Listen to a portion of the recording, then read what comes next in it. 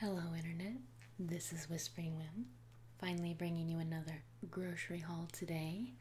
I got a little delayed because my apartment complex decided that uh, last week would have been a great week to paint the building. so they um, did the power washing for like two days. And then we come home and all our windows are taped up and everything. And uh, it was uh, kind of surreal almost because you had to live in like a plastic bubble for a little while. But they are all done now, and um, or at least with my immediate building. Looks like they still got a couple more to do over there.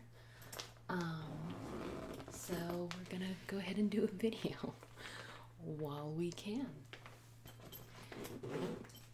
First up, we have my cooler bag, and inside the cooler bag, got some uh, three cheese mix. It's got Parmesan, uh, Romano, and Asiago cheeses in there. And then we've got a nice little bag of uh, mandarin oranges and some yogurt. I don't know if I've said it already or not, but I'm a real new fan of this less sugar Greek yogurt that uh, Chobani has been putting out. Uh, it has 11 carbs, so a little, it's not bad. It's kind of like medium range as far as something that I can eat. Um, and this Madagascar cinnamon flavor, it's very subtle. And I like subtle sometimes, so yay, Chobani. Next up, have some mozzarella cheese and some butter. Those are good basics, right? And then I did get my guys some more of that cheesy toast. Uh, as you recall, I um, am trying not to eat bread myself, but these are nice because I can just pull one or two out and heat it up when I'm making the rest of dinner, and he gets his bread, and it's a little easier for me to resist temptation since um, I only defrost what I need. Next up, we've got some pre made hamburger patties. Um, I decided not to buy a giant thing of ground beef and divide it up. Uh, so this will satisfy our beef needs. I have a package of hamburger buns in the freezer. And just like the cheesy bread, I just pull out enough for him. And then I have my hamburger with like avocado and lettuce and stuff. Up next, we have lots and lots of frozen vegetables. We have San Francisco, Asian stir fry, uh, more San Francisco, Italian blend, and I think one more stir fry. Yep. So I used to avoid frozen vegetables, kind of like that perception that uh, they're not fresh, so they're not as good. But I've been reading up on it, and frozen veggies often have more nutrients than their fresh counterparts, um, especially if you shop at like a big grocery store. And the reason for that is is that frozen vegetables tend to get more time to sun ripen because they're processed near their farm. Whereas, you know, if you get carrots in the supermarket, they're pulled a little early and then they're transported a long ways. And um, so, yeah, the nutrition can be just as good, if not better, when frozen. And then finishing out my cool bag here, we've got some burritos. I will be house sitting for a friend this coming week, and um, which means my guy might end up having to make himself dinner once in a while. And uh, he doesn't quite cook per se, but he will heat up some frozen burritos. this next bag has a few fun things in it. First up is this um, maple pecan snack mix. And it has like dried cherries and apples in it, cinnamon, and um, they're a little pricey, so we just got one to try, right?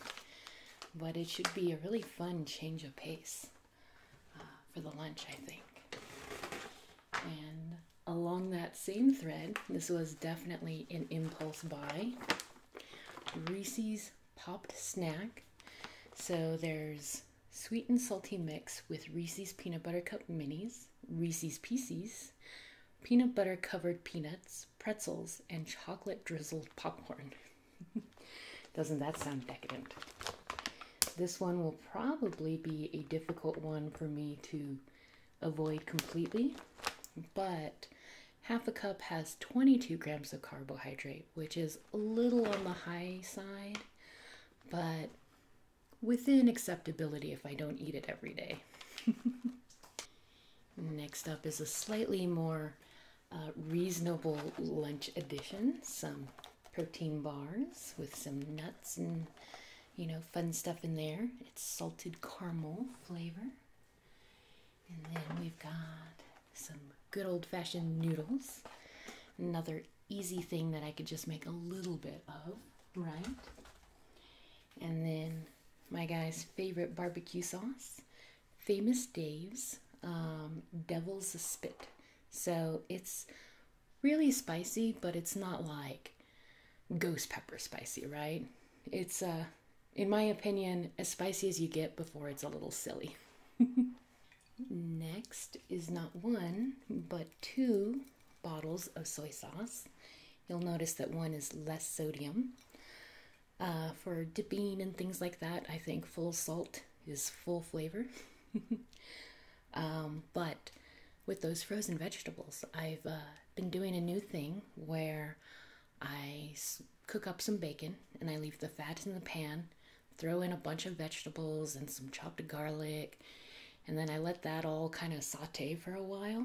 And then I throw on a little bit of soy sauce and let that cook down into the mix, and it makes a really delicious um, vegetable side dish, right? Problem is, is that it's easy to OD on the salt if you only use the regular kind, so I ended up getting one of each. Next up, I did get a little flavor pack. Um, I keep telling myself that I'm just gonna buy the stuff to replace flavor packets like this. And overall, I don't use too many of them, but once in a while, a particular mix like this tomato, garlic, basil kind of hits the spot, and you know, it's a little easier, right?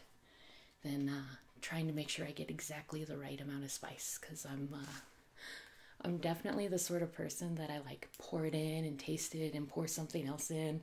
It's very, you know, haphazard the way that I cook. and then we got tomato sauce and some heart healthy nuts and some not so heart healthy nuts in the form of peanut butter. Here we have some garlic to help facilitate the uh, uh, fried vegetable mix that I was telling you about earlier. Some white beans for white chili I make with chicken and cream. It's very delicious. One little packet of instant mashed potatoes. And last but not least, for that particular bag, we have some golden curry mix. Next up, we have my favorite Daiso bag, uh, which is unfortunately falling apart at the seams, literally. Um, I may try to like do a, a glue or something so that I can continue using this bag because it is one of my favorites. It's just a good size for um, a couple of heavy, tall things like half and half, which is in here but not at the top. Uh, first up would be celery and some jalapenos because my guy likes it hot, right? And then uh, we've got the half and half. We actually have two because uh, we actually have two because I'm a bit obsessed with cream and coffee. also, in this bag, we've got some lens wipes. I decided that I needed to have this in my purse when I get off of work. I am a baker, right? Uh, so I'm working with like cream cheese icing and simple syrup and lots of sticky, gooey things. And I always, because I'm readjusting my glasses all the time, I'm always getting like a crusty bit of like frosting right on that corner of my glass.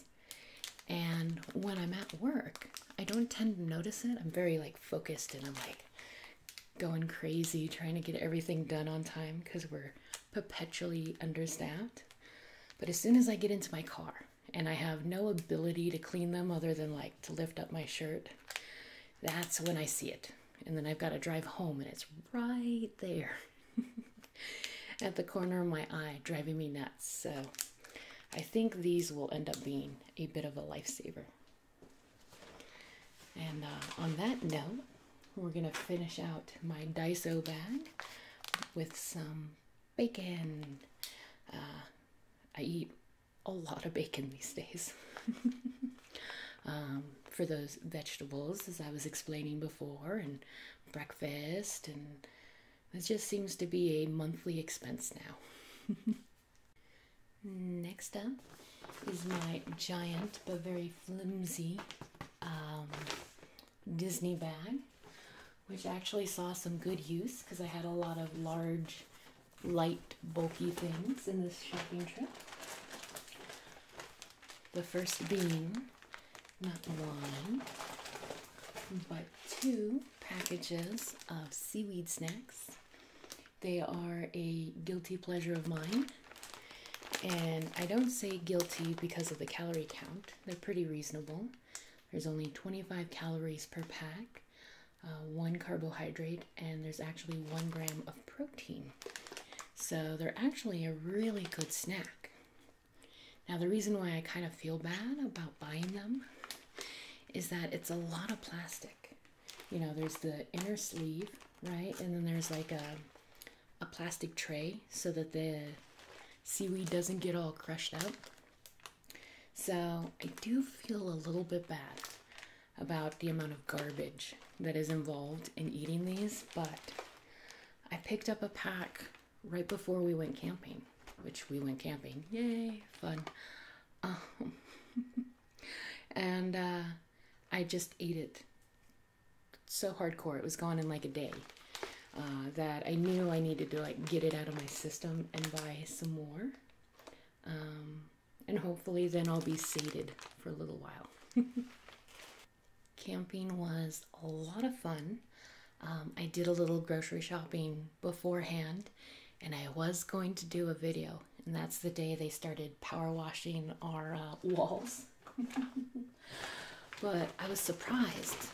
I ended up spending like almost $80 on camping stuff, and it was for like a single weekend.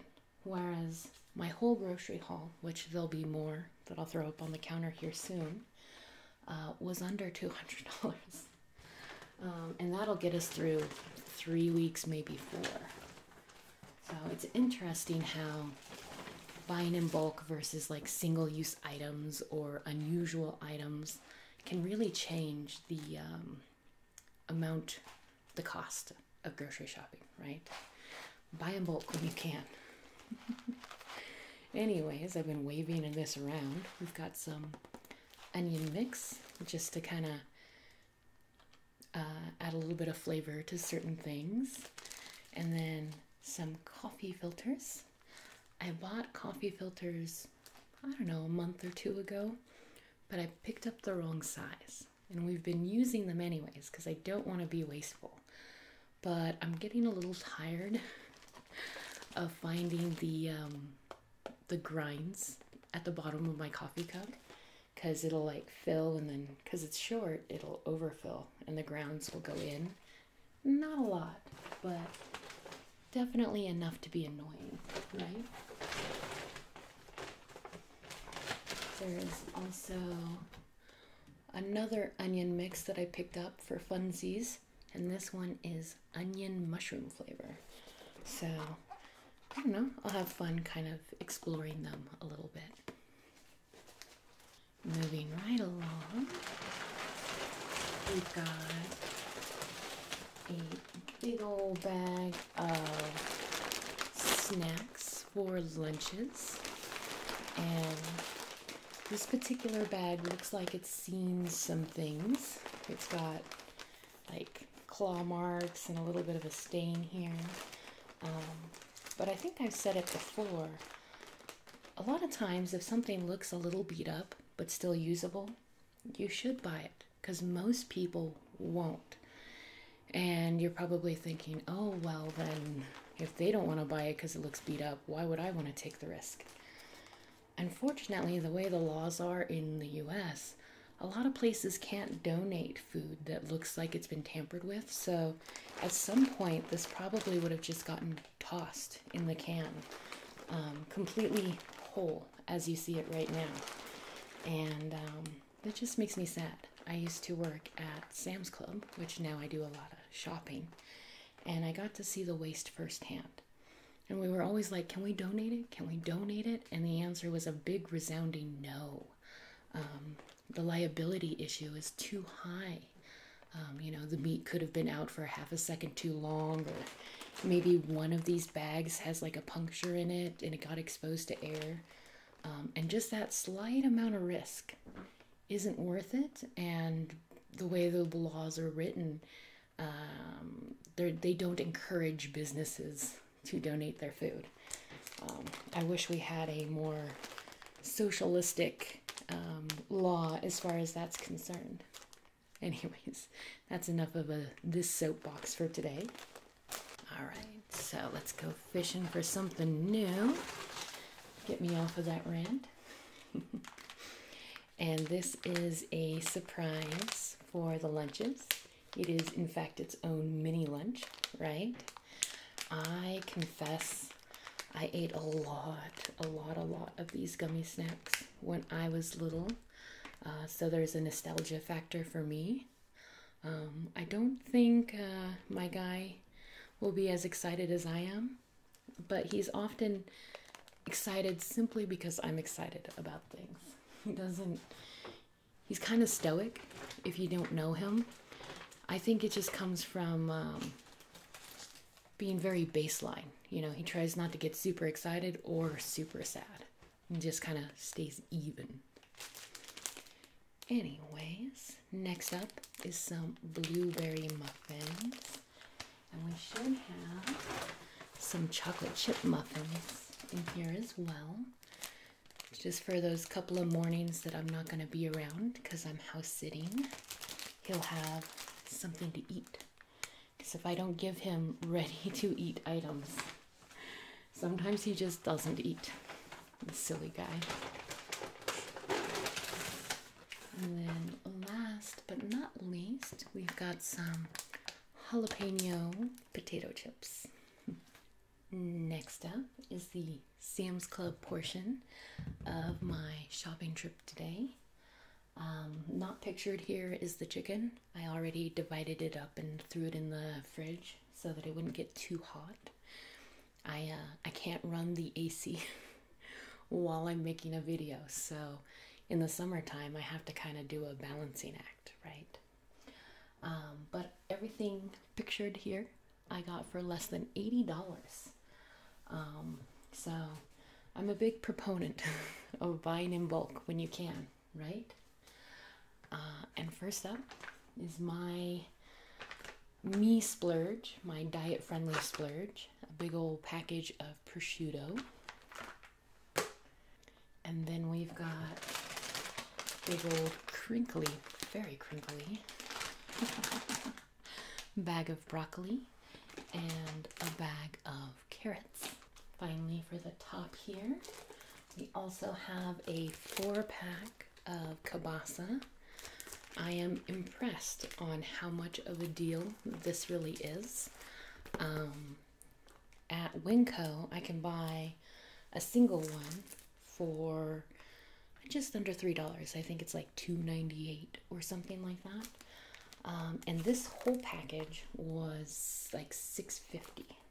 So that's quite a deal, and I like Kabasa. Um, I uh, have a fan out there who said that uh, she really likes the way Polish people look. I do have a lot of Polish blood in me, um, so perhaps that's why I like Kabasa so much. now, I did get this bin here at Sam's Club as well. Uh, it was like $9 and some change, and I needed a new storage device for all my wool. my arts and crafts supplies are just bursting at the seams, figuratively this time, because um, I've been doing so many shows and I'm buying more and more stuff, and it's not good for a one bedroom apartment. Uh, but, anyways, I got this bin and I already don't like it. Uh, it has these snaps, right? So it should be nice and sturdy, but on the sides here, it doesn't actually like connect very well. And just with the little weight of what was in here, I could feel the lids separating. Um, I don't think I'll return it, but I definitely don't recommend it for um, normal storage. My wool is pretty light, uh, so it should do fine in there, but I was a little disappointed because normally um, Sam's Club has like higher quality stuff, and this was less quality than what I could get at like Walmart. So, a little disappointing. And inside this bin, we've got some lovely tomatoes, tomatoes, tomatoes, however you want to say it. Um, they did not have the super fun one that had like green and purple in it today, but cocktail tomatoes are just as good. So I don't need fancy colors, but I want them. uh, next up, big old bag of avocado. Nice healthy fat and fiber. Fiber is very good. um,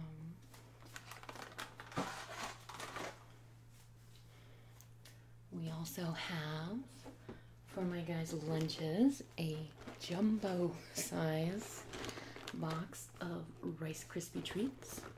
And there's M&M ones and chocolate ones and uh, more chocolate ones. so it's kind of like a chocolate variety pack, but I think he'll enjoy those greatly. We've got a giant box of minute rice. uh, this whole box was like 568 I want to say. Uh, so again, a very good deal in my opinion. And also for just around five dollars, we've got this big old bag of Chex Mix, which my guy is quite fond of. And then our last item, which doesn't have a, a big reveal, again because of our clear tub here, uh, but it is a giant bag of Granny Smith apples for lunches and breakfast. um, and that concludes my grocery shopping for today.